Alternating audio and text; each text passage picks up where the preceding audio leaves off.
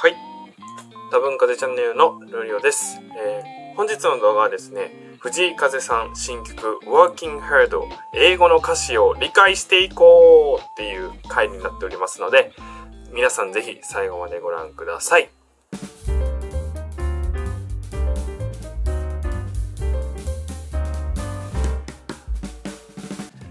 このチャンネルでは藤井風さんを中心に取り扱いをしています音楽のチャンネルとなっております。もし少しでも役に立った、面白かったという方はぜひチャンネル登録、グッドボタンよろしくお願いいたします。えー本日はですね、えっと、前回の動画見てくださった方多いのかなっていうふうに思うんですけども、えー藤井風さんの Working Hard の、えー新曲ですね、あの、来てるんですが、その、えーと、タイトルにこんな、あの、意味があるんじゃないかみたいな、えー、Working Hard っていう意味と、そのタイトルに2つの意味がある、2つの、あのー歌詞、歌詞中にね、working hard っていうフレーズが出てくるんですけど、2種類あるんだよっていうところをお話しさせていただいたんですが、いかがだったでしょうか？まあそちらが好評だったら、ちょっと歌詞解説なんてみたいなものをですね、したいなと。英語のね、前編解説みたいなのをしたいなというふうに思ったんですけど、まあ特にめちゃくちゃ好評だったわけではないんですけども、あの一部の方から、あの、どうしても歌詞解説してほしいですっていうね、あの、熱い熱意を感じました。本当にありがとうございます。なので、ちょっと今日はですね、えー歌詞解説というとおこがましいんですけど、まあ、 English learner の僕としてはですね、あこういう解釈なんじゃないか、こういう訳なんじゃないかな、みたいなところをですね、自分でまとめることで、まあ、皆さんに教える上、上から偉そうに教えるっていうよりは、こう、僕の答えこうだと思うんですけど、どうですかね？みたいな、あの宿題をやっていく感じですね。あの、なので、まあ、発表会みたいな感じです。っていうところで、あの、お話しさせていただこうかなというふうに思いますので、この iPad ちゃんを使ってですね、えー解説、解説というか、をしていきたいなというふうに思いますので、ぜひ最後まで、ちょっとね、長くなるかもしれないので、あの、ぜひ最後まで、あの、ご覧、ゆっくり時間ある時にご覧いただければなというふうに思います。それでは、画面の切り替え、はい。というわけで画面切り替わりましたでしょうか ?Working Hard 藤井風リリックスコメンタリーということで、はい。こんな感じで落書きもできます。赤でね。えーっと、風さんの、えー、Working Hard の歌詞をですね、こういう感じで書いていきました。一応僕が思ったことをこうつらつら書いてるんですけど、まあ黄色はなんか主観ですね。黄色のこのペンとかは結構主観なんですけど、で、赤色が文法的なところこうなんじゃないかみたいなところを書かせていただいてます。で、英語の歌詞に対しては、この、この鍵括弧でですね、この鍵括弧で僕なりの訳を書いておりますので、そこをちょっと頭に入れて、この画面見ていただければなというふうに思います。はい。では早速、1行目から英語なんですね、この歌詞。えー You've been working hard. これは、あの、一個一個前の、あのタイトルにもなってる Working Hard が出てくるところなので、え1個前の動画でもお話しさせていただいたんですが、現、現在完了進行形ですね。これがね、素敵なんですよ。現在完了進行形を使ってるのが素敵で、なんかコメントにもいただいたんですけど、風さんの英語っていろんな文法を使ってるみたいな話をしてて、あの話があって、確かにこれは現在完了進行形なんですよね。で、この現在完了進行形の訳し方としては、まあ、1個前の動画で詳細はお話ししてるんですけど、あなたはずっと、ずっと何々してますねっていうのが、この現在完了進行形なんですね。で、これがすごくいいなというふうに思ってて、なんか点で見てるんじゃなくて、こうずっとね、こう頑張ってるねって、ずっと頑張ってるね感がですね、とても出てて、ずっと頑張ってるのを知ってるんだよっていう、こう諭すような歌詞にあのなってるんじゃないかなっていうふうに思って、You have been working hard. ここ2回繰り返してるんですけど、あなたはずっと頑張ってますねっていうところを言ってます。で、次。えー maybe you don't understand. これはまあ簡単ですね。そのまま、あなたは理解してないかもしれない。まあ、理解って understand まあ訳すじゃないですか。でも、まあ、この歌詞の、まあ、前後の意味からすると、まあ、あなたはまだ実感してない、それに気づいてないのかもしれないみたいな意味なのかなっていうふうに思ってます。まあ、必ずしも、こう、直訳で、理解する必要はないと僕は思ってるので、ああなたはそれそれについてずっと頑張ってることについてまだ気づいてないかもしれないですね、ぐらいのなんか訳し方、理解の仕方でもいいのかなっていうふうに思ってます。僕あんまりあの、学校英語みたいな感じで、私はこれ、あえて主語がわかるように今回は、あなたはとか書いてるんですけど、あの、学校英語みたいに主語となんかきっちりね、動詞の、あの、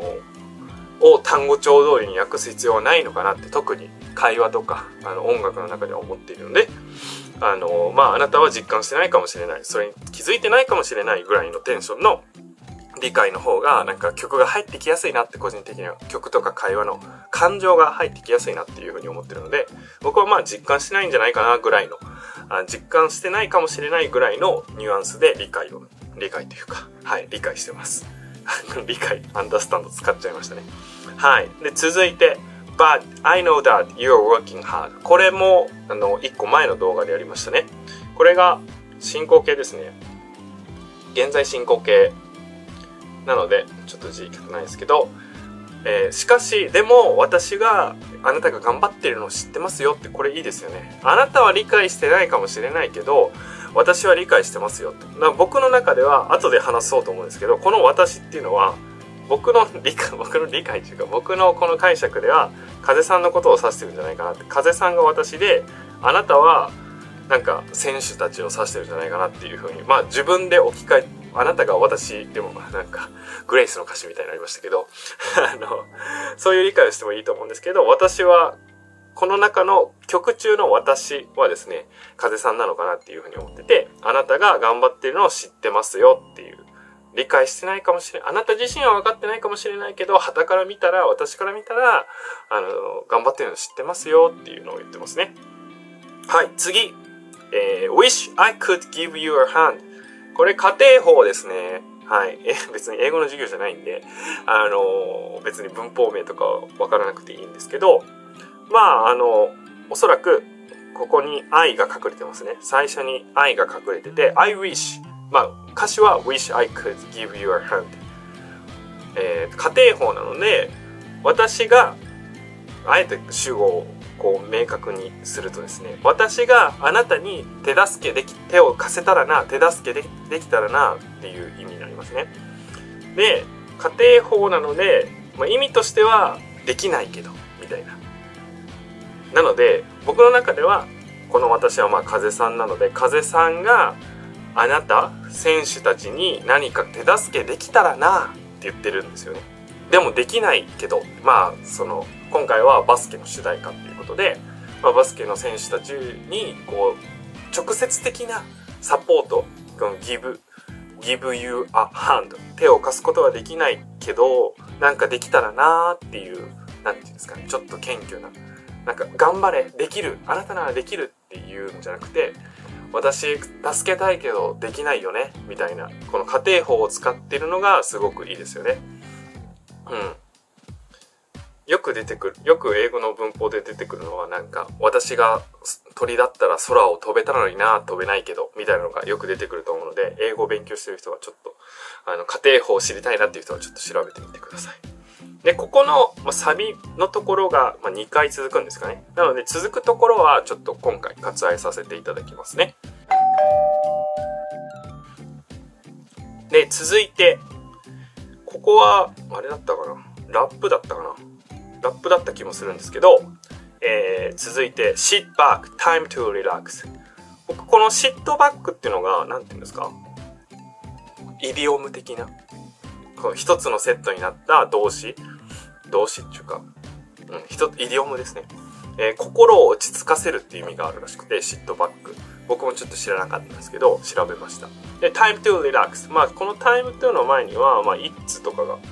it's とか Now とかが省略されてるのかなっていうふうに思うんですけどゴミに。リラックスする時が来ましたねみたいな。これいいですよね。なんか頑張る時が来ましたねじゃなくてこれなんか試合直前の僕はイメージなんですけど心を落ち着かせてください。あの落ちリラックスする時が来たよっていう風にも言ってんのかなっていう風に思ってます。で次日本語の歌詞「鼓動に任せて自由に踊って」うまあなんかダンスここはなんかダンスっぽい表現ですけどこう踊るようにこう活躍してみたいな鼓動に任せて自由にこう体を動かしてみたいなところがそのスポーツバスケと何て言うんですかねシンクロさせた意味ダブルミーニング的なところなのかなっていうふうに思ってます。で続いて英語が出てきてですねバックダウン show them respect っていうのがあって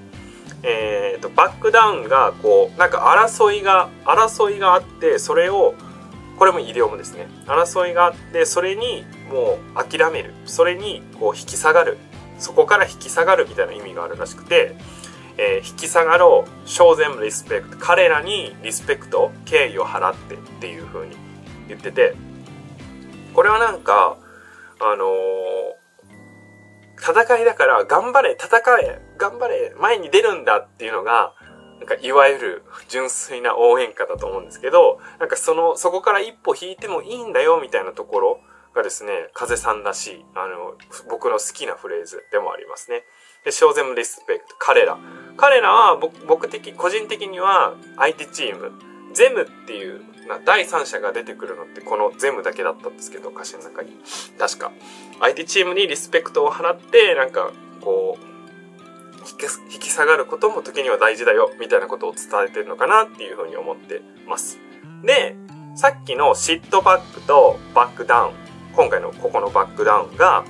あの2箇所でですね出てきててバックっていう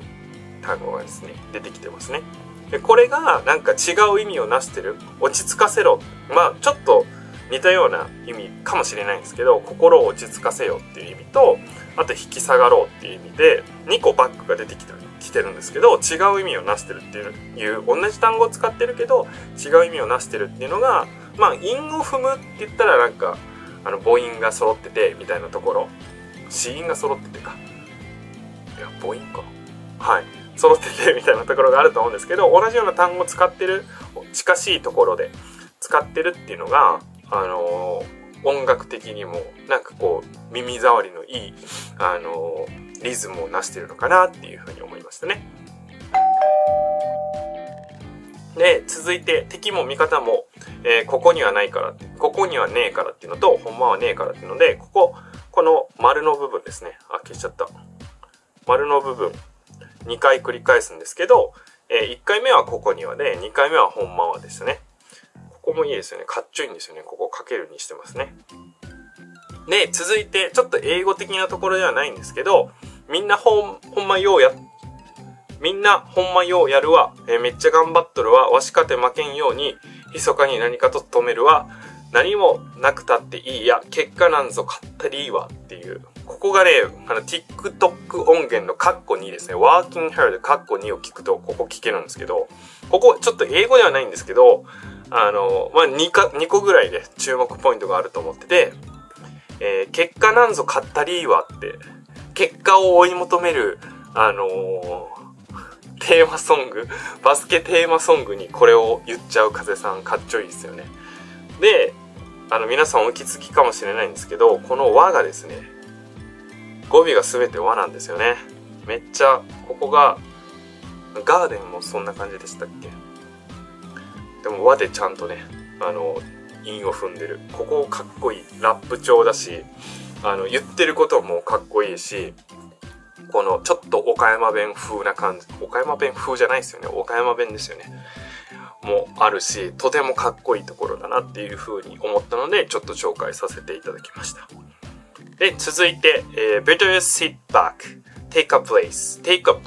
deep place、えー、落ち着いた方がいいよとベターなんでね。こここれもまたバック出てるんですよね。ここまで考えてるのかな？さっきのバックと。で、えー、take a deep breath まああの深呼吸をして。で then you know no no no no no って。脳がめっちゃ続くんですけど脳かけるいっぱい。脳かけるいっぱいなんですけど、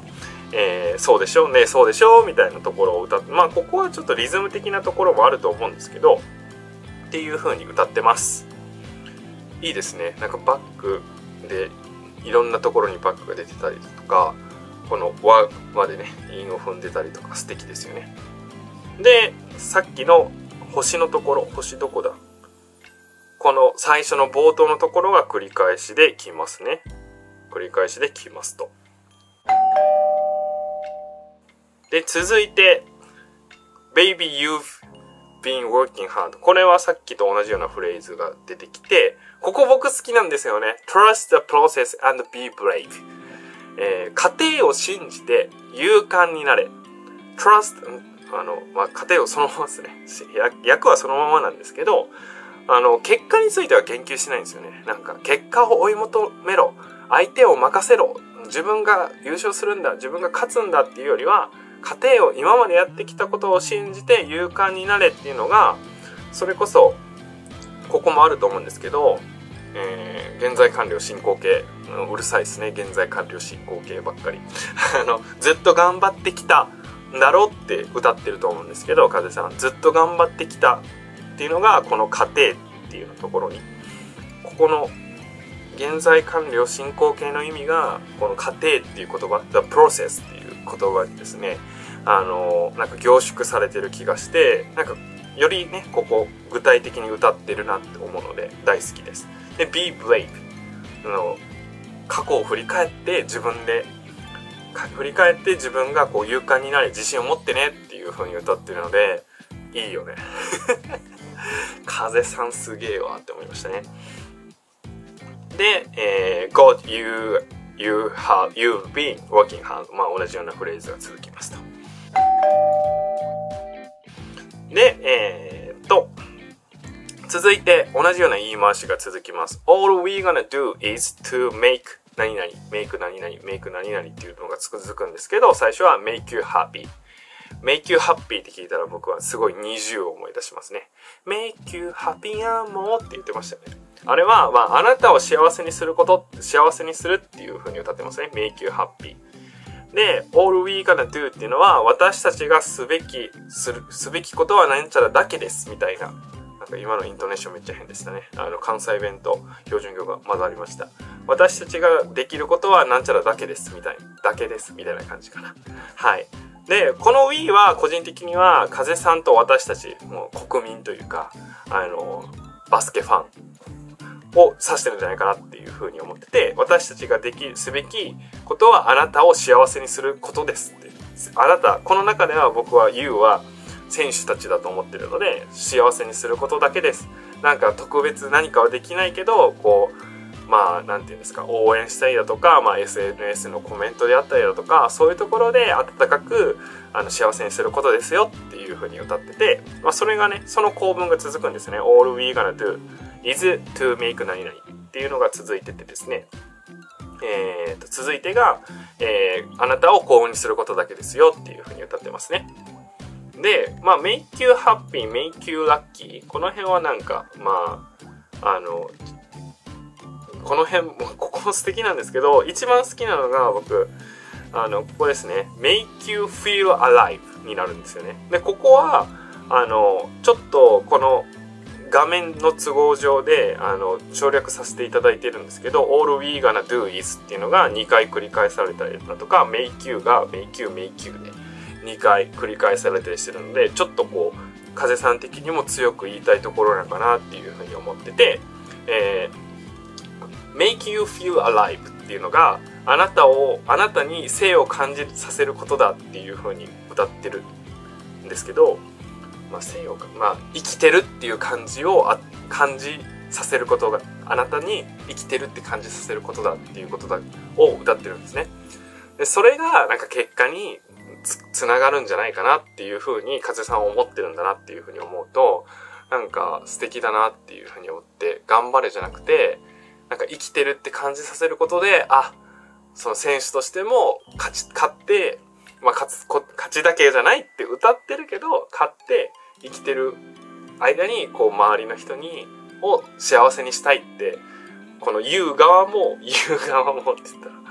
あの、ルー大芝みたいですけど、あの、その選手、応援されてる側も生き生きるっていうのを感じるってことは、なんか、勝つ、勝ってみ、周りを喜ばせる。まあ、勝ちだけじゃないかもしれないけど、周りを喜ばせることが、あの、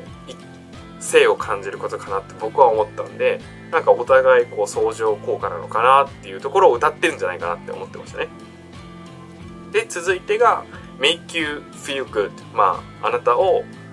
あなたの気分を良くさせることだったり気持ちよくさせるだけだっていう風に歌ってますね。っていうのが All We Gonna Do 構文。All We Gonna Do 構 文。このガラもあの文法的に言うと Going to まあの省略形なので、まあ、さっきのあのタイトルでもお話しした Working Hard Working Hard 訳してると思うんですけどちょっと口語的な言い方ですね。でもまあめちゃくちゃフランクかっていうとそうでもない気はするんですけどね。結構英語の歌詞とかには出てきますよね。ガナとかワナとかですね。はい。続いてですね、It's all about the others この辺が僕ここがちょっとねあの解釈しきれなくてですねすべては他人のことについてですっていうのと、すべては It's all the It's all about the brothers って言ってるんで、すべては、えー、兄弟のことです。このブラザーズはなんかあの、風さんがよくね、あの、アジアツアーの MC とかでも言って、brothers and sisters とか言ってたんで、あ、そこから来てるのかなとかっていうふうには思ったんですけど、なんかね、ここの意味は、まあ、意味がわかんないっていうよりは、どういう解釈できるんだろうなっていう、まだ自分の中でも咀嚼できてない部分かなっていう風なところはあります。で、最後ですね。Together we can touch the sky now. 今なら、えー、みんなで空、スカイを触れるっていう風に歌ってるんですけど、なんかこれも、うんって最初思ったんですけど、こう、バスケのシュートってこう高いところにあるじゃないですか。なので、そのバスケのシュートのをこう、なんていうんですかね。モチーフに歌ってるのかなっていうのと、まあ、タッチ・ザ・スカイ。まあ、スカイに、スカイをタッチするってことは、なんか頂点を取るっていう意味もあったりするのかな、みたいな。なんか、結果について言及はしてないんですけど、こう、勝てとか、優勝しろ、勝つんだ、ウィンとかっていう単語とか出てきてないんですよね。ルーズとかね。出てきてないんですけど、なんか最後の最後に、こう、We can touch the sky が、なんか頂点取れるんだよ、みたいな、を、こう、遠回しに言ってんじゃないかな、みたいなところも思えて、すごく面白い。うん。早くフルで音源聞きたいです。なんかここまで僕、あの、解禁前の歌詞について考えること、まあ、YouTube やってなかったらなかなか考えなかったなっていうふうに思うんですけど、なんか音楽でフル尺で聴くのもすごくいいんですけどそれだとすんなり入りすぎ入りすぎちゃってこう歌詞についてあんまり考えることが最近特にね歌詞カードとか見ないんで CD のあのなかなかないなっていうふうに思ったんですけどこれいいですねあの解禁前に詩だけを見てリズムちょっとまあの先行配信でちょっとは聞こえてますけどなんか全部が全部身に染みる前に歌詞について考えるっていうのはとても、なんか自分個人的にも、まあ YouTube の企画として撮らせていただきましたけど、すごくいいなというふうに思いましたので、このような解釈をさせていただきました。黄色の僕の解釈書かせていただいてます。えー、個人的な解釈、個人的なやつですね。で、愛っていうのが、この主人公、私って歌ってると思うんですけど、歌詞の中に。愛ですね。それが風さんなのかなっていうふうに思ってて、We が私たち、風さんと私たち、応援する側を意味してるのかなっていう。で、You が、あなた、You が出てきますよね、この歌詞、たくさん。え Make you lucky とか Make you happy とかね。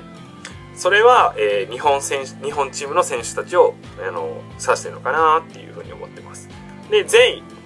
まあ、あの変形して全部ですけど全部が1回だけできてくるんですよね。小全リスペクト。これが結構相手チームのことを言ってるのかなって、まあ、他のね対戦相手のチームのことを言ってるのかなっていうふうに思いました。まあこれはあくまで僕の解釈なんで、まあ愛が自分になってもいいと思いますし、何て言うんですかね、優が自分になってもいいと思う。自分のための応援歌だって思うのも全然あるよと思うんですけど、なんかこういうふうにも解釈できるんじゃないかなっていうところをですね、えー、考えながらこの歌詞訳したというか英語の理解をしていきました。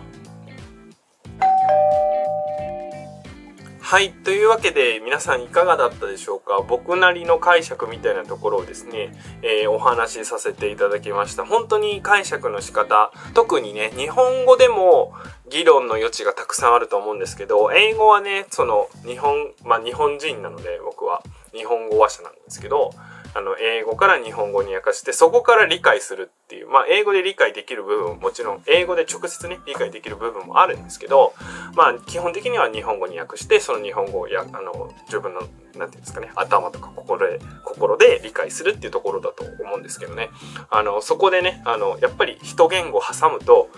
挟む。プラス自分のそれぞれの理解があると思うのでだいぶ人によって理解の感じとか雰囲気とかニュアンスとか違うと思うんですけどあくまで僕の僕はこう感じましたよみたいな話をさせていただきました。あの皆さんそれぞれね感じること違うと思うのでぜひねそういったところはコメント欄で教えてください。教えていただけるといいかなというふうに思っております。皆さんどうでした？僕の説明分かります？なんか僕あんまり人に説明するの苦手だなっていう。ふうにすごく思っているのであのちょっと分かったよみたいなのコメントもあるとですねここは分かったよとかでも部分的でもいいんですけどあると安心すると思いますので是非よろしくお願いします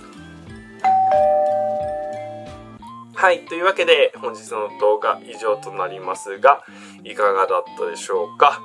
えー、っとね、なんか、喋り疲れましたね。ちょっと長い動画だったと思うので、皆さんも疲れたと思うんですが、まあちょっとね、夏休みかな？皆さん。あのゆっくり時間ある時に見ていただけたら幸いだなっていうふうに思います。なんか他にもなんかいろいろね動画出せたらなっていうふうに思っておりますのであのもう少ししばしお待ちを。いろいろねちょっと忙しくて動画あの出せない時もあるんですがあの楽しみにしておいていただけるとありがたいです。